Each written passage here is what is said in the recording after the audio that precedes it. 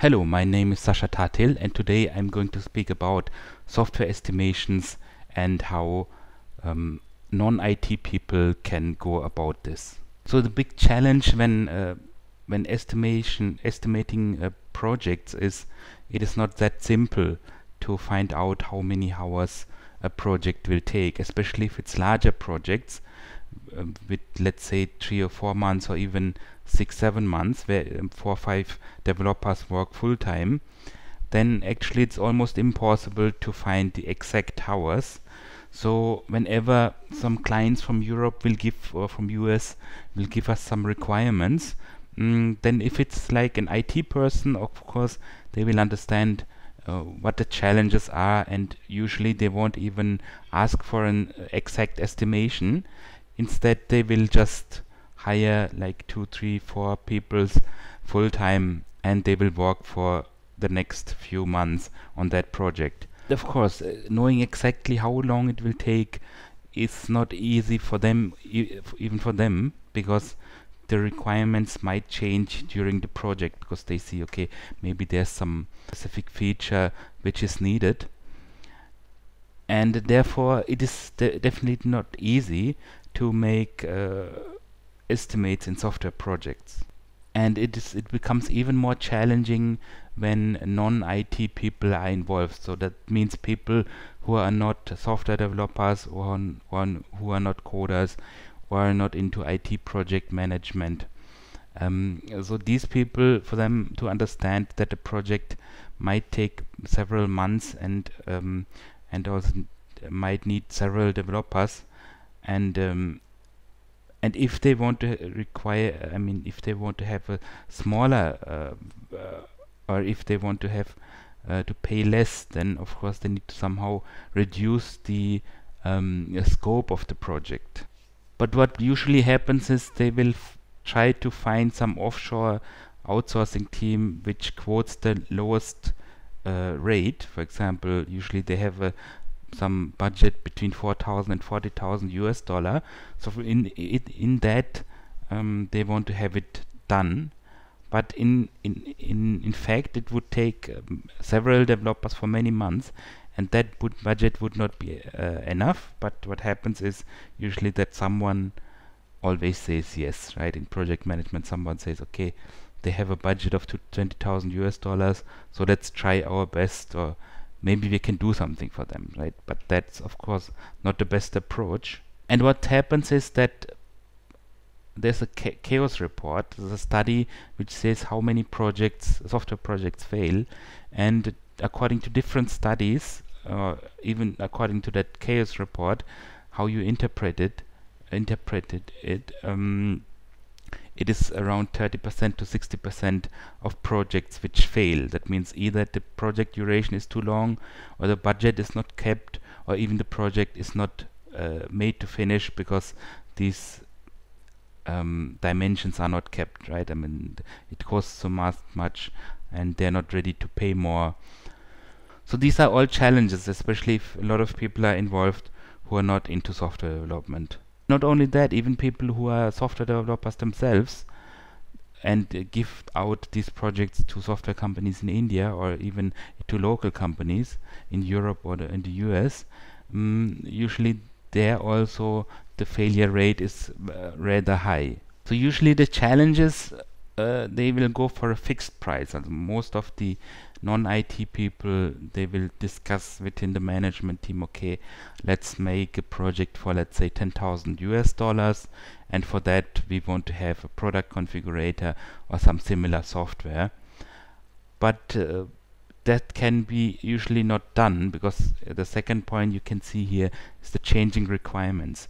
Um, because especially these um, non-IT people don't know exactly what all is required inside the IT project, what kind of features might be needed to, de to develop to make the project a success, right? For example, to make some processes better or to help their clients to uh, make some purchases easier or something like that.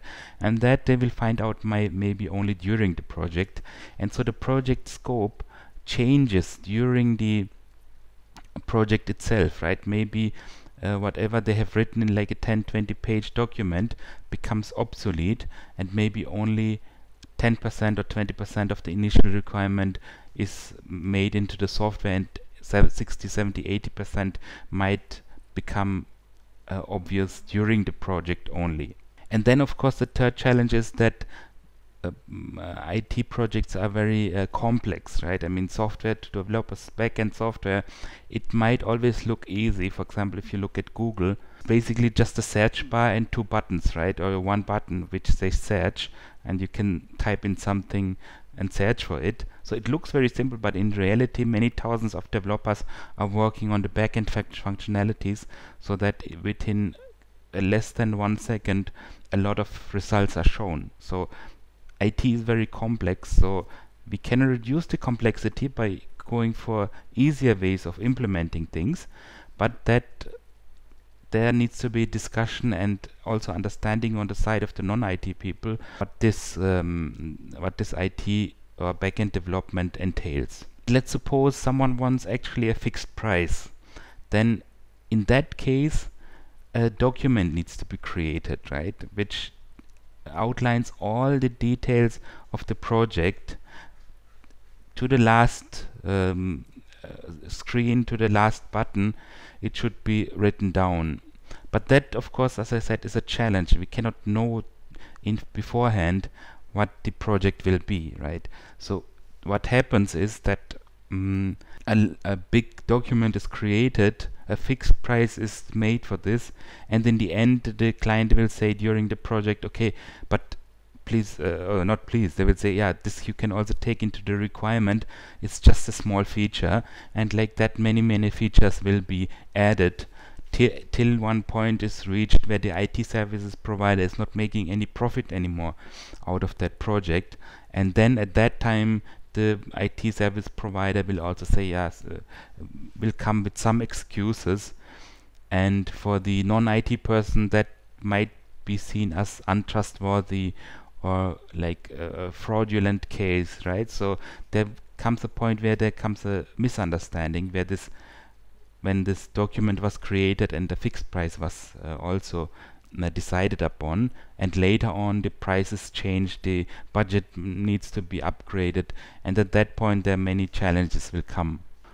So basically there's always a wish and a reality. The wish is usually always like the budget is like four thousand dollars or maximum forty thousand dollars and it should be created in two three months the software should be built.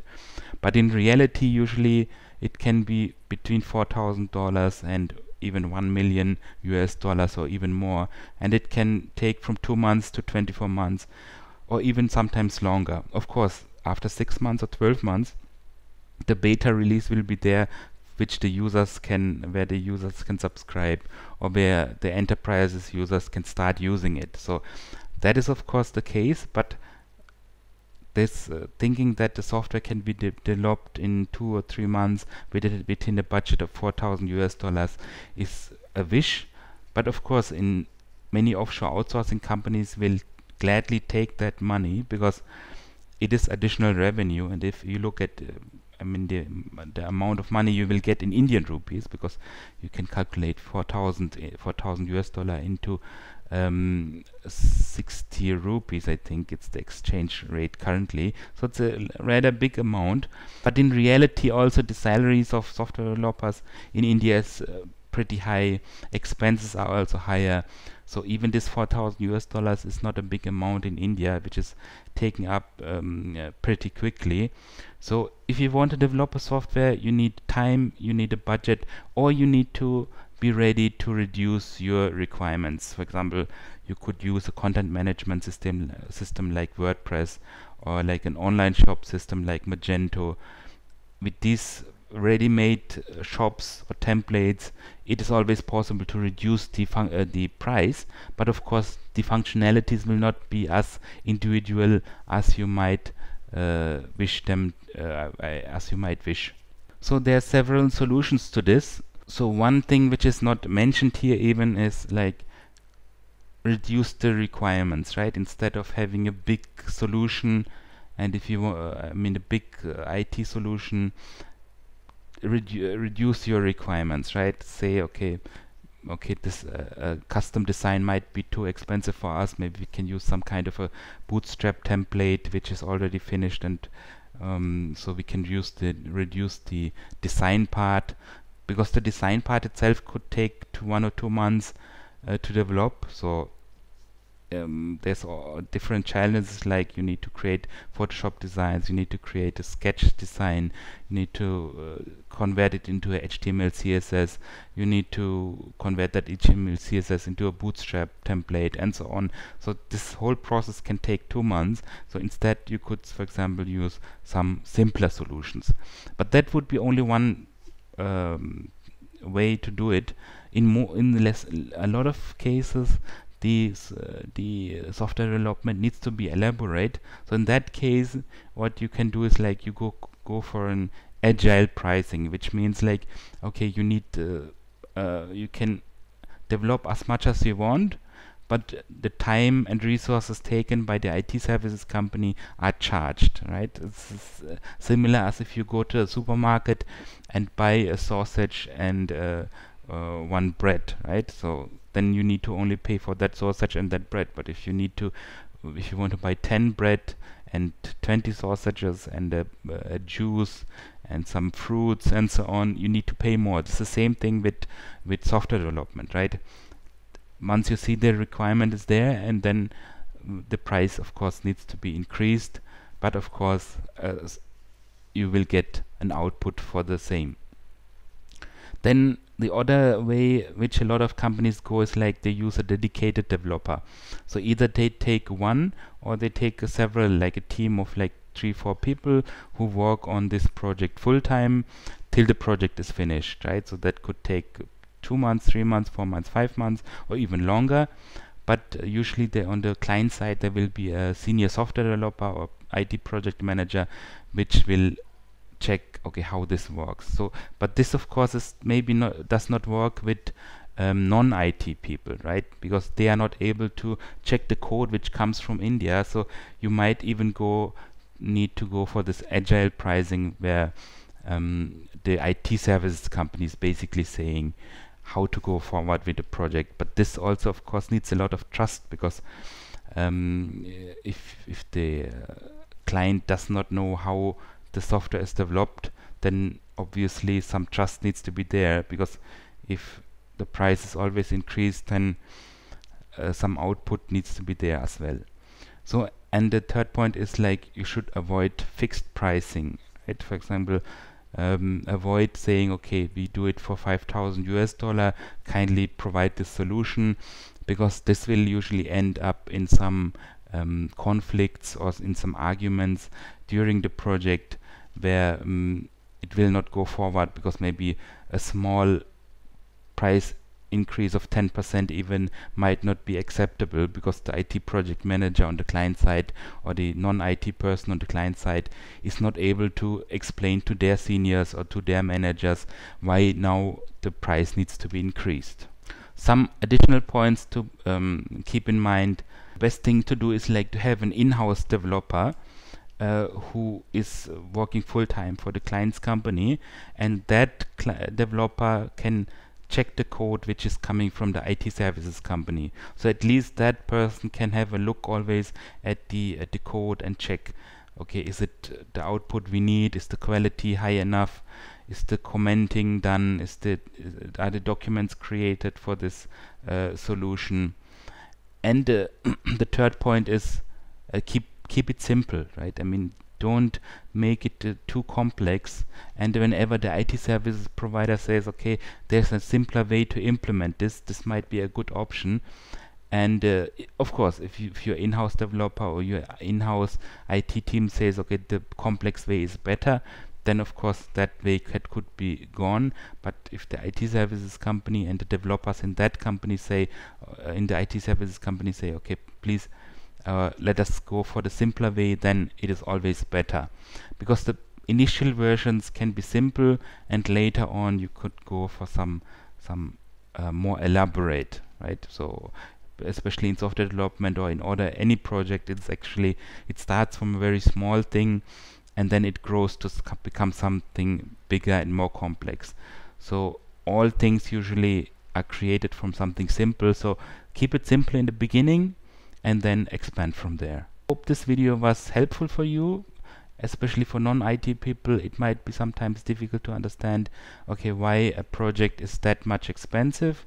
So it is maybe always good to involve a third party who can assess this this um, this quote or even uh, you should try somehow to get some kind of trusting level with your uh, develop software development partner if you like this video you can uh, like it share it and also subscribe to this channel um, and also you can write a comment uh, the best is if you would write a comment and uh, let us know what exactly your challenges are when you are giving some um, when you're given some IT project to a software company and they assessed it and uh, where the challenges were, how you solved it.